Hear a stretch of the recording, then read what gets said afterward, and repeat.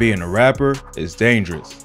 It's like every other day, another artist either gets killed over old beef or just plain jealousy. Let's look at some of the men who killed famous rappers. FBG Duck. FBG Duck was one of the hottest Chicago rappers before he got killed in August 2020. Duck was a GD and grew up around 63rd and St. Lawrence in the South Side, which ain't too far from Parkway Gardens, aka O Block. Duck was from the STL EBT set of the Gangsta Disciples, who beef with black disciples, including 600 and O Block. These gangs always beef with each other, but a few big murders turned it into an all-out war. So that, combined with the rise of drill music and all the dissing that came with it, made the war between these gangs one of the deadliest ever in hip-hop. In January 2011, a GD from STL EBT named Shondell Gregory, aka Tooka, was killed while waiting for a bus. They say he got chipped in retaliation for a BD named Edric Walker, aka Ty, who was allegedly killed by the GDs. STL EBT got revenge a few months later when KI, a teenage girl who became one of Chicago's most feared shooters, killed OD Perry. OD was a top BD member from a set called Wick City. After he died, Wick City changed their name to O Block and swore to get revenge on STL EBT, who also changed their name to Tookaville. So these two murders would set off the war in Chicago that's now lasted over 10 years. O Block had the most famous rappers like Chief Keef, Lil Durk, and King Von. But STL EBT had their own clique of rappers called the Flyboy Gang, aka FBG. FBG's most popular rapper was Duck, but there was also his brother Brick, his homie Wooski, and other GD rappers like Lil Jay and Billionaire Black. O Block and FBG would send shots at each other in their music, and that just caused more violence in the actual streets. Both sides have lost a lot of members in this beef, but the most shocking was probably when FBG Duck got murdered last August while out shopping in Chicago's Gold Coast neighborhood. A few weeks before, Duck dropped a diss track called Dead where he took shots at several dead members of O Block, including OD Perry. Then, on August 4th, 2020, Duck was killed broad day in one of the richest areas in Chicago. Witnesses say two cars pulled up and four dudes hopped out as Duck was walking out of the Dolce & Gabbana store. Duck's death ain't just shocked drill fans, it shocked the entire city of Chicago, mainly because there was gang violence in a wealthy area. Just recently, Chicago police arrested five members of O Block for the murder of FBG Duck in a major RICO indictment. They arrested C Murder, Kenny Mack, Los, C Thang, and Muwop. They also implicated a sixth member of O Block named Zell Money, who took his own life earlier this year. Police say social media and music videos played a big role in helping them solve the case. Many O Block members bragged about the hit on social media and take credit for the murder. There's even a video of Boss Top, an O Block member who damn near admitted to the murder in an interview.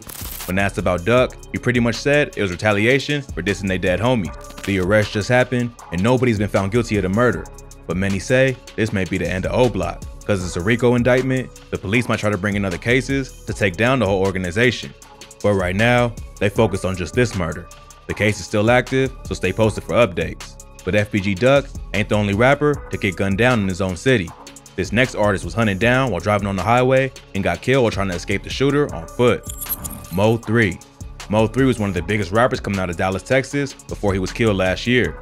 He racked up millions of streams on tracks like Outside, Better Days, and Mop With It. But he also beefed with a lot of other dudes in the city, which eventually led to his downfall. In November 2020, Mo 3 was driving down I-35 in Dallas, but slowed down because of the traffic. While he was stopped, a masked man in the car that was following him got out and approached his car. Mo 3 must have seen him coming because he got out of his own car and tried to run away. The killer started chasing him and shot the rapper and also an innocent person. That person survived, but Mo 3 died. A few months later, police arrested two men for his murder. 22-year-old Keywan Dontrell White and 28-year-old Devin Maurice Brown. They think that White was a shooter and that he was hired by Brown for the hit. White was known in Dallas for being a shooter. He also rapped under the name Banzo Banks and had ties to other rappers in the city like Go Yayo, Yella Beezy, and Trap Boy Freddy. These rappers also had beef with Mo3 after they got into a fight at a show a few years before. This led to Go Yayo banning Mo3 from Fort Worth, which he ignored. When he went to go perform at a club in Fort Worth, he was pressed by Yayo and his goons, which led to a shootout, leaving an innocent person dead. Since then, all the other Dallas rappers had to pick sides, and most of them chose Go Yayo. So Mo3 would have problems with both Trap Boy Freddy and Yella Beezy, and a lot of murders and shootouts would come as a result. So, when Kiwan White was arrested for the hit, many thought it had something to do with this beef, but the police think there was a different motive behind the shooting. Police arrested White after a photo of the killer was released to the public and a witness identified him as the shooter. When the cops tried to question him, he took off on a dirt bike and then on foot. They eventually caught up to him and found a 9mm in his pocket. His cell phone record showed he was in the area where Mo 3 was killed on the day of the shooting and also made several calls to Devin Brown right before the murder. A female witness told police that Brown was mad at Mo 3 because they were in a relationship. Another witness said that Brown hit her up multiple times asking for Mo 3's location. When questioned by police, Brown admitted he knew Mo 3 and had been upset over a Facebook video that he seen with the rapper and one of the witnesses, but he denied any involvement in the murder. When they searched his crib, Police found a stolen AK-47, synthetic cannabinoids, also called K2, methamphetamine pills, scales, baggies, and some cash. So aside from the murder charge, Brown is facing up to 20 years just for the drugs and guns. White denied knowing Brown, even though cell phone records show they called each other multiple times. Police think that Brown was angry with Mo3 over his relationship with a female and paid White to kill him.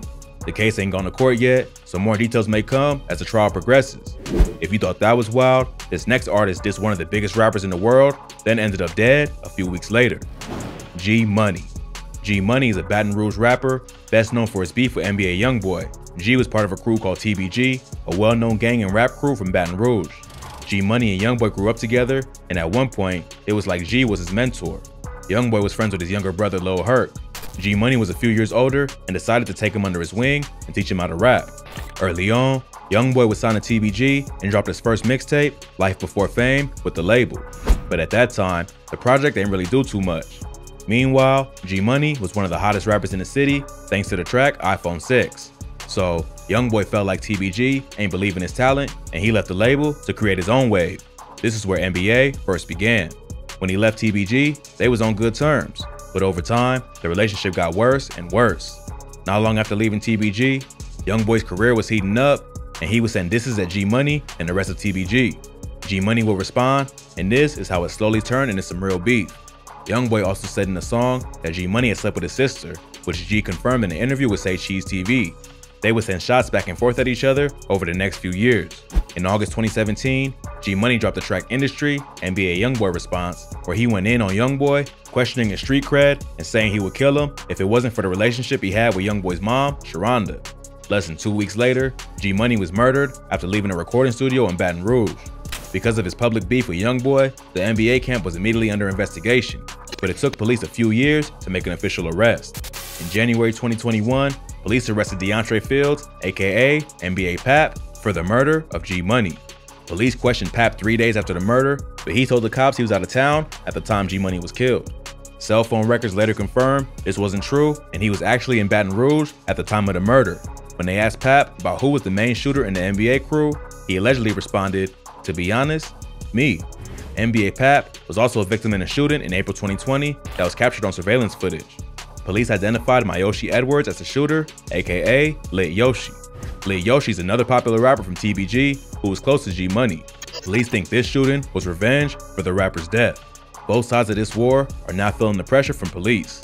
Not only is NBA Pap looking at a murder charge, Youngboy is also facing decades in prison for a federal firearm charge, and it seems like a RICO case is coming any day. Lit Yoshi is also facing more than seven attempted murder charges, while his boy Fredo Bang is locked up beside him. So both gangs are facing some real legal issues that might take them off the streets for good. But American rappers ain't the only ones who gotta be careful in their own city. This next rapper was killed in his hometown of Toronto, then got his memorial service shot up by ops just days later. Houdini. Houdini was one of Toronto's most popular rappers before he was killed last year in May. He racked up millions of plays on tracks like Backseat and Mansion and got co-signs from major artists in the industry like Meek Mill and Tory Lanez. But Houdini was also from the Jane Driftwood neighborhood, one of the most dangerous hoods in the city. He was from a large Crip set and they beefed another hood called Regent Park. On May 26, 2020, Houdini was murdered down while out shopping in downtown Toronto. Just like FBG Duck, his killers waited until he had his guard down and caught him lacking in a rich area far away from the hood. The killers parked on the street for like 40 minutes, just waiting for the rapper to walk by. When he finally did, the car moved from where it was parked, and the shooter started firing at Houdini and his crew. Two of his boys started shooting back, and the 15-year-old boy they was with ducked for cover. The 15-year-old ended up getting hit, along with Houdini and an innocent woman who was standing in the doorway of her condo. But Houdini would be the only one who died. The rapper's death was a major blow to Toronto, as Houdini was one of its most promising young stars. His funeral was held on June 8th in Mississauga, Ontario. The next day, his friends and family had a vigil in Toronto. Around 11:20 p.m. that night, a car drove up along the curb right across from the parking lot where the vigil was being held and started letting off shots. Two rappers that were there, GD and Burna Bandz, fired back in retaliation and ended up facing gun charges. At least nine people were in attendance and two victims suffered gunshot wounds but later recovered. Police announced that six people were identified as being involved in the shooting and three were arrested. They arrested a 21 year old from Brampton, a 25 year old from Newmarket, and a 37 year old from Toronto, but kept their identities confidential. They also identified 30 year old Glenn Danchey, 19 year old Javante Johnson, and 25 year old Terrell Whitaker as suspects in the shooting and asked the public for help finding them.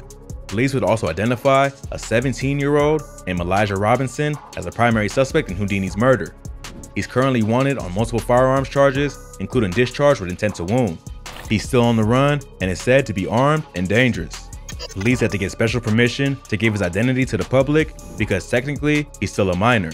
Unfortunately, the rap game has lost a lot of talent over the years to pointless beefs and petty jealousy. RIP to all the rappers mentioned. At least their legacy will live on through their music.